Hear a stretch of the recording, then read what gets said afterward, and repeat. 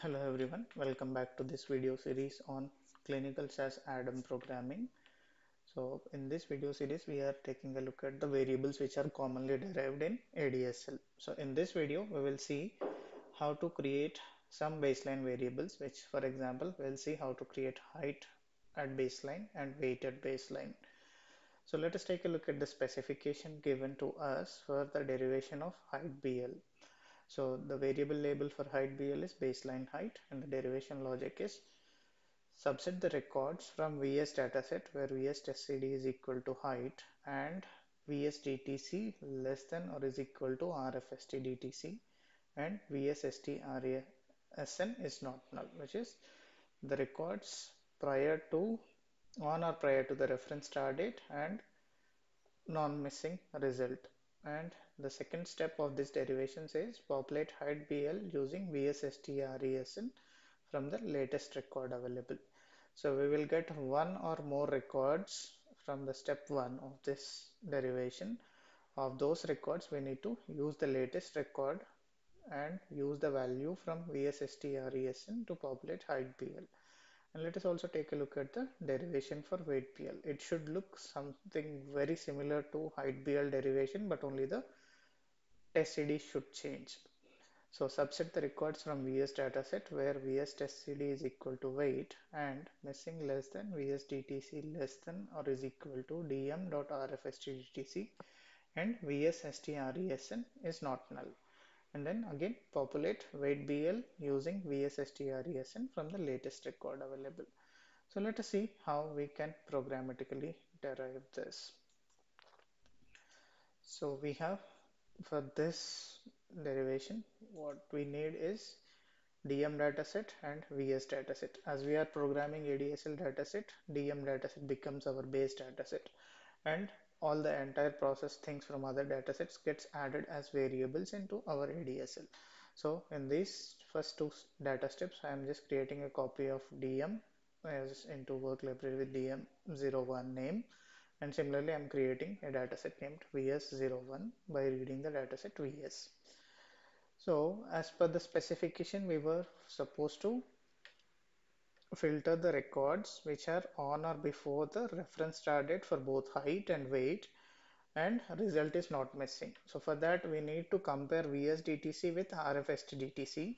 RFSTDTC is in our demographics dataset. For that we are merging demographics dataset to our vital signs dataset based on subject ID and then keeping the records for the subjects who are present in both the datasets just in case if there is any data issue and if there is a subject present in vital signs but not in demographic demographics dataset for those subjects the records would be deleted because of this if a and b. So and again after that we are subsetting the required test. So there can be more than uh, one test or more than height and weight uh, there can be other tests other than height and weight in vital signs. So for that we are interested uh, only in height and weight. We are subsetting that using a subsetting if statement. And then we also had to subset the records which are on or before reference start date. For that we are using another subsetting if statement if VS, VSDTC less than or is equal to RFSTDTC.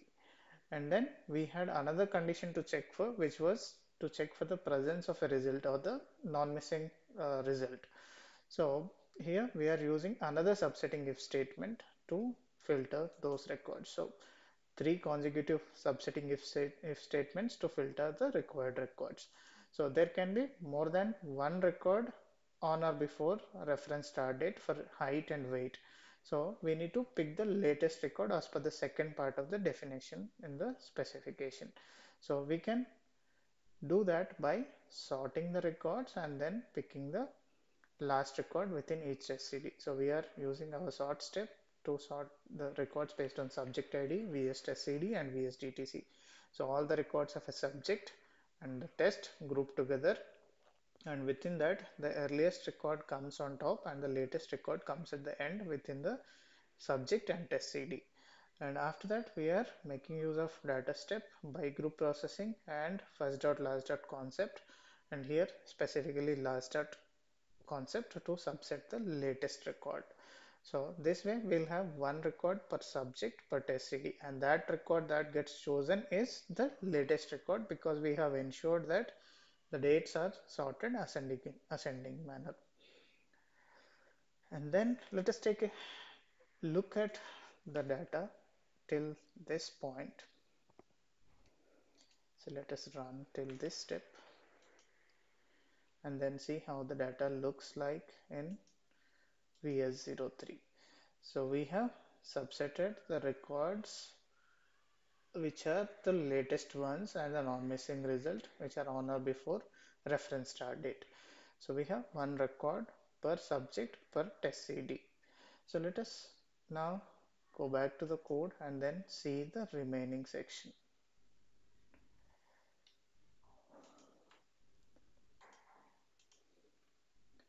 So here we are just trying to transpose because we had one record per subject per test CD. So the two test CDs are height and weight.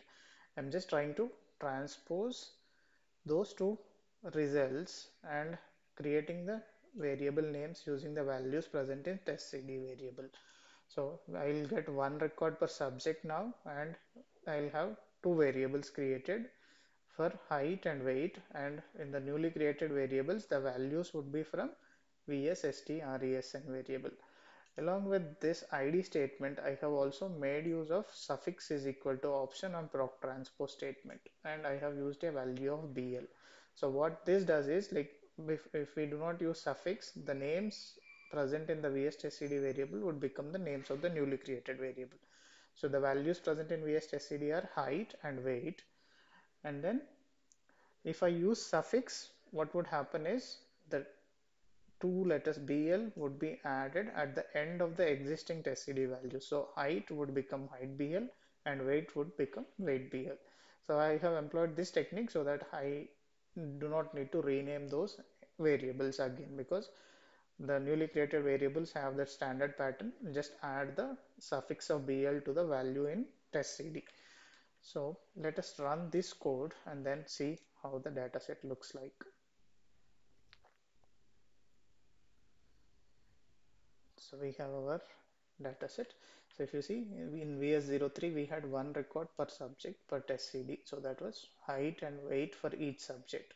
So now I have transposed the data such that using u sub in the by statement so that the values in usubjid remain as rows and then the newly created variables are height and weight BLs. So this BL got added because of the suffix option which I have used on the proc transpose. So I have the baseline variables created. I can make use of these two variables coming from trans01 and merge it to my dataset to have height and weight BL created in a new dataset called VS04. After that, I'm just simply employing a retain statement to reorder the variables in the required uh, order and then keeping only the required variables. Let us run the entire piece of code and then see how the final output looks like. So if you see, then we have all records coming, all the subjects coming from demographics dataset and then height and weight BL coming for the subjects who have data. So why do we have this height and weight BL missing for subject 1005 is this subject has not taken a dose yet.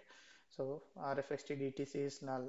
So we were comparing VSDTC with the reference start date even though the subject has a record in vital signs that because of the absence of RFST DTC we will not get the height BL and weight BL for this subject. So this is how we can create baseline variables in ADSL dataset.